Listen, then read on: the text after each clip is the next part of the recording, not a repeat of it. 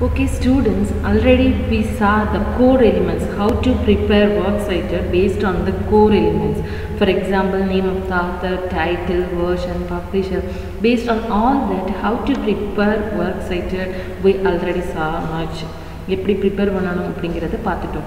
Now we are going to see the next topic formatting and ordering work site அதை எல்லாமே ready பண்ணிட்டோம் இப்போது அதை எப்படி நம்ம ஃபார்மேட் பண்ணி எடுத்துறது அப்படின்னு பார்க்க போகிறோம் the entries you create for your resources are gathered into a list with heading of work cited கண்டிப்பாக அதுக்கு நம்ம எப்படி தான் ஹெட்டிங் போடணும் ஒர்க் சைட்டட்னு ஒரு ஹெட்டிங் போட்டு தான் அதை வந்து நம்ம ப்ரிப்பேர் பண்ணணும் அதுக்குள்ளே அந்த ஒர்க் சைட்டடுக்கு நம்ம என்னென்ன ப்ரிப்பேர் பண்ணி வச்சுருந்தோமோ அதை ஒன் பை ஒன் நம்ம வந்து ஃபில் பண்ணணும் Then in a research paper, this list is usually placed at end after any end notes. In the forms of academic work, the list may appear elsewhere. So கண்டிப்பாக இந்த research பேப்பரில் இந்த work cited எங்கே வரணும்னா end end notes otherwise end end of the research paper end of the research paper is the correct one கண்டிப்பாக இது ஒரு one word வரும். Then format the work cited list so that the second and subsequent lines of each entry are intended half an inch from the left margin. So எவ்வளோ மார்ஜின்லேருந்து எவ்வளோ space தள்ளி நம்ம வந்து ஒர்க் சைட்டோட டைப் பண்ணணும் அப்படின்னா half inch தள்ளி ஓகேவா எந்த லைன் அப்படின்னா second subsequent line so first line மார்ஜினை ஒட்டி வரும். செகண்ட் சப்சிக்வெண்ட் லைன்ஸ் மட்டும் நமக்கு எப்படி வரும் அப்படின்னா கேன் யூ அண்டர்ஸ்டாண்ட் எப்போவுமே பேராகிராஃப் ஸ்டார்ட் பண்ணும்போது ஃபர்ஸ்ட் லைன் தான் இன்டென்ட் பண்ணுவோம். ஆனால் இங்கே அப்படி கிடையாது. ஒர்க் சைட்டில் ஃபர்ஸ்ட் லைன் மார்ஜினை ஒட்டி வரும். செகண்ட் லைன் தான் ஹாஃப் இன்ச் வந்து லெஃப்ட் மார்ஜின்லேருந்து இன்டென்ட் பண்ணி வரும். This format called hanging indentation very very important question கண்டிப்பாக உங்களுக்கு இதில் ஒரு கொஸ்டின் கேட்குறதுக்கு சான்ஸ் இருக்குது வாட் இஸ் ஹேங்கிங் இன்டென்ஷன் அப்படின்னு கே கேட்பாங்க. கண்டிப்பாக எக்ஸாம்பிளோட நீங்கள் இதை வந்து எழுதணும். ஓகேவா ஸோ ஃபைவ் மார்க் கொஸ்டின் கேட்டாங்க அப்படின்னா கொஞ்சம் இதை எலாபரேட் பண்ணி எழுதுங்க. டென் மார்க் கேட்டாங்கன்னா அந்த கோர் எலிமெண்ட்ஸ் எப்படி ஆத்தர் எழுதுறது எல்லாமே நீங்கள் கொஞ்சம் எழுதி இதை வந்து டீட்டெயிலாக எழுதணும். Helps readers part the beginning of each entry when the creation hanging intention is difficult in certain digital contexts for instance leaving extra space between entries will serve the same purpose the list is arranged alphabetical order கண்டிப்பாக இது வந்து alphabetical orderல தான் arrange பண்ணியிருக்கணும் very very important இது இதில் ரெண்டு விஷயம் நீங்கள் நோட் பண்ணணும் ஃபர்ஸ்ட் லைன் வந்து மார்ஜினோட ஒட்டி வரணும் செகண்ட் லைனில் ஒர்க் சைட்டட் ப்ரிப்பேர் பண்ணும்போது செகண்ட் லைன் எல்லாமே எப்படி வரணும் மார்ஜின்லேருந்து ஹாஃப் இன்ச் இன்டென்ட் பண்ணி வரணும் அப்புறமா வந்து ஆல்ஃபபெட்டில் வந்து நீங்கள் அதை அரேஞ்ச் பண்ணணும். Then letter by letter alphabetization so alphabets arrange பண்ண உங்களுக்கு ஆல்ரெடி தெரியும்னு நினைக்கிறேன். ஏ ஏ வந்துச்சுன்னா இப்படி தெரியும் தானே? ஸோ இங்கே பார்த்தீங்களா? ஆல்ஃபபெட்டர் எப்படி பண்ணியிருக்காங்க டிஇஎஸ் வந்திருக்கு. ஃபஸ்ட்டு போட்டிருக்காங்க. டிஇ ஸ்பேஸ் வந்திருக்கு. அது செகண்ட் போட்டிருக்காங்க. Mac M A C first M C second Morris Robert Morris William Mori Morris Tony இந்த மாதிரி ஆத்தர்ஸோட நேம் வந்துச்சுன்னா வரிசை எப்படி பண்ணியிருக்காங்கன்னு பார்த்தீங்கன்னா இதை பேஸ் பண்ணி இதை பார்த்துக்கோங்க. The alphabetical ordering of entries that begins with author's name is determined by the letters that come before the comma separating the author's last and first name. So last name first name இப்படி separate பண்ணி போட்டேன் Tony Morrison எப்படி போட்டிருக்காங்க பாருங்கள் Morrison comma Tony so இந்த first name base இந்த sorry இந்த second name base பண்ணி தான் நம்ம என்ன பண்ண போகிறோம் இதை வந்து ஆல்ஃபபெட்டேஷன் பண்ண போகிறோம் other punctuation marks and spaces are ignored so punctuation mark இடையில இருக்க பஞ்சுவேஷன் ஸ்பேஸ் எல்லாமே இக்னோர் பண்ணிவிட்டு நம்ம ஆல்ஃபபெட்டை கரெக்ட் கரெக்டாக பார்த்து போட்டுற வேண்டியது. ஓகேவா the letters following the commas are consider only when two or more last names are identical இப்படி மூணு நாலு. நேம் வந்து சேர்ந்து இப்போ ரெண்டு நேம் மோரிஸ் மோரிஸ்னே வருது. ஸோ இதை வந்து அரேஞ்ச் பண்ணும்போது அடுத்த வேர்டு அவங்க நேமோட அடுத்த லெட்டரை நீங்கள் பார்த்தா போதும் அது எப்படி வருதோ அதே மாதிரி ஆல்ஃபபெட்டிக்கல் ஆர்டரில் போட்டால் போதும் ஓகேவா then other important thing multiple works by one author இப்போ டோனி மாரிசன் எழுதுனா ரெண்டு மூணு.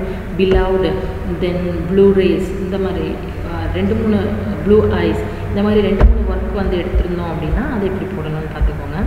To document two or more works by the same author give the author's name இந்த ஃபர்ஸ்ட் என்ட்ரி ஒன்லி ஸோ ரெண்டு மூணு ஒர்க் எடுத்திருந்தோம்னா ஃபர்ஸ்டில் வந்து மட்டும் ஆத்தரோட நேம் எழுதினா போதும்.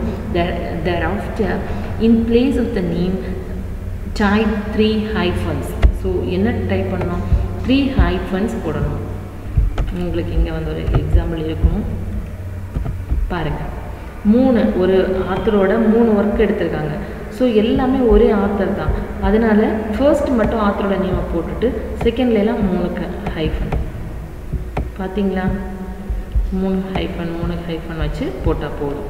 The three hyphens are usually followed by period period and then by the source source title. If the person named performed a role other than creating the work's main content, however, place comma after three hyphens enter the term describing the role.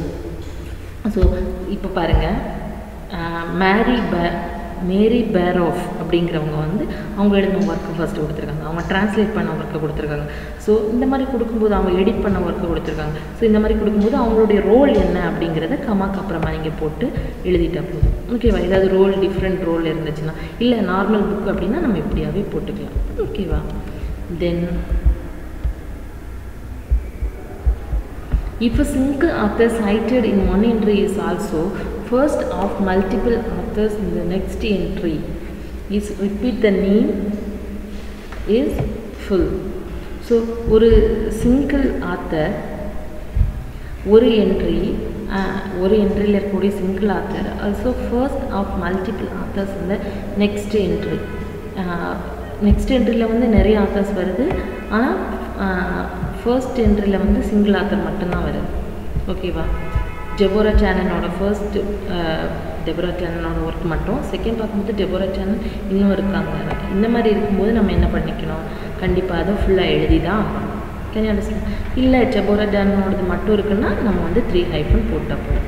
Okay then multiple works by co authors நிறைய கோ authors நிறைய பேர் இருந்தாங்க அப்படின்னா if two or more entry citing co authors begin with the same name alphabetize then by the last name second author second authors listed so ரெண்டு name இருந்துச்சுன்னா இந்த மாதிரி போடணும். ஓகேவா பாருங்கள் ஃபார் எக்ஸாம்பிள் நான் ஒரு எக்ஸாம்பிள் உங்களுக்கு சொல்கிறேன் William Shakespeare sorry Wordsworth and S T Coleridge ரெண்டு பேரோடது work Wordsworth Samuel Taylor கால்ரிச்சோட ஒர்க்கு வந்து நான் இப்போ எக்ஸாம்பிள் சொல்ல போகிறேன் ரெண்டு ஆத்தருக்கு அப்போது நம்ம எப்படி போடலாம்னா Wordsworth comma William and sorry Wordsworth comma William comma and Samuel Taylor Coleridge can you understand இந்த மாதிரி மல்டிபிள் ஆத்தர்ஸ்க்கு போட்டால் போதும் அவங்களுக்கு அந்த செகண்ட் நேம் அப்படி மாற்ற வேண்டிய அவசியம் இல்லை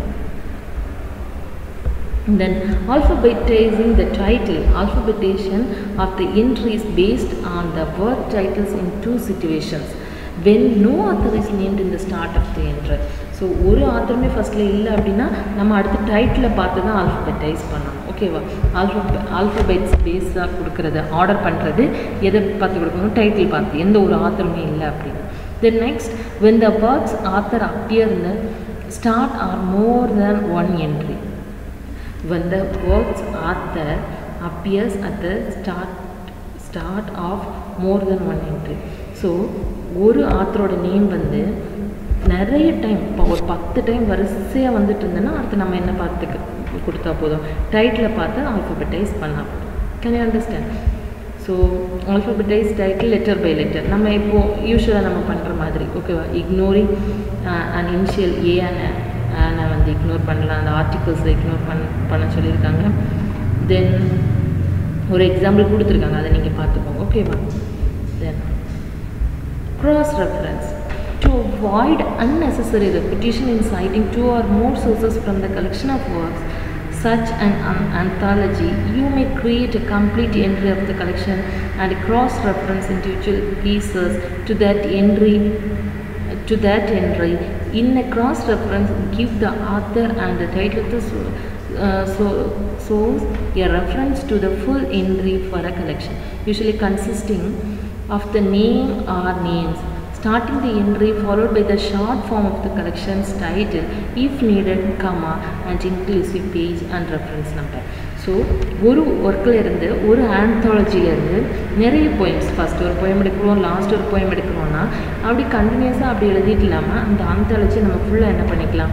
போட்டுட்டு அப்புறமா என்ன கொடுக்கலாம் அப்படின்னா கிராஸ் ரெஃபரன்ஸ் கொடுத்துக்கலாம் அப்படின்னு சொல்லியிருக்காங்க. புரியுதா? அந்த திரும்ப திரும்ப சேம் ஒர்க்கை மென்ஷன் பண்ணுறத இந்த ரெப்பிட்டேஷன் வராமல் ஓகே நம்ம அப் அந்த மாதிரி ஃபுல் என்ட்ரியை அப்படி கொடுத்துடலாம். உங்களுக்கு தேவை அப்படின்னா கம்மா போட்டு போடலாம். இங்கே பாருங்கள் ஃபார் எக்ஸாம்பிள் இங்கே ஒரு ஒர்க் இருக்குது பாருங்கள் ஓட்ஸ் அண்ட் அட்வானோடது லுக்கிங் அட் ஜோரா அப்படிங்கிற ஒர்க் இருக்குது இங்கேயே இருக்குது பாருங்கள் ஃபர்ஸ்ட் இதில் இருக்குது ஸோ ஒரு ஒர்க்லேருந்து இங்கே ஒரு போயம் எடுத்திருக்காங்க கலெக்ஷன்லேருந்து இங்கே ஒன்று எடுத்திருக்காங்க. ஸோ இந்த மாதிரி நீங்கள் கொடுத்துக்கலாம். இல்லை ஒரே ஒர்க்காக போட்டு என்ன பண்ணிக்கலாம்? ஆந்தாலஜி மாதிரி இருந்துச்சுன்னா மொத்தமாக கொடுத்துக்கலாம். கேன் யூ அண்டர்ஸ்டாண்ட் அப்போ நம்ம இதில் ஃபர்ஸ்ட் ஒர்க்லேருந்து இவ்வளோ லைன்ஸ் தான் எடுத்திருக்கோம். செகண்ட் ஒர்க்லேருந்து இவ்வளோ தான் எடுத்திருக்கோம். ஸோ இந்த மாதிரி கூட நம்ம என்ன பண்ணிக்கலாம் போட்டுக்கலாம். சப்போஸ் இந்த ஓட்ஸ்மேன் அண்ட் அட்வன் நிறைய இடத்துல வந்துகிட்டே இருந்துச்சு அப்படின்னா நீங்கள் இதை ஒன்றா கூட சேர்த்து போட்டுக்கலாம். தப்பு இல்லை அப்படின்னு கொடுத்துருக்காங்க. இதுதான் கிராஸ் ரெஃபரன்ஸ் ஓகேவா தென் ஓகே இப்படி தான் ஒர்க் சைட்டட் ப்ரிப்பேர் பண்ணணும். You have to follow certain steps while preparing work cited work cited title போடுறதுலேருந்து எல்லாமே நீங்கள் ஒரு சர்டன் ஃபார்மேட்டை நீங்கள் வந்து ஃபாலோ பண்ணணும். சொல்லிக் கொடுத்த கோர் எலிமெண்ட்ஸும் வித் பஞ்சுவேஷனோட படிச்சுக்கோங்க. ஸோ கேட்கும்போது இந்த கோர் எலிமெண்ட்ஸோட சேர்த்து இதை அப்படியே எழுதிடுங்க. கோர் எலிமெண்ட்ஸில் ஆல்ரெடி கிளியராக படிச்சிருப்பீங்க. அதை எழுதிட்டு இதில் அந்த formatting cross reference hanging indentation இதெல்லாமே போட்டு நீட்டாக இதை வந்து எழுதிடுங்க. ஓகேவா இதோட preparing work cited fourth unit முடிஞ்சிருச்சு. Then we are going to see fifth unit in next class okay thank you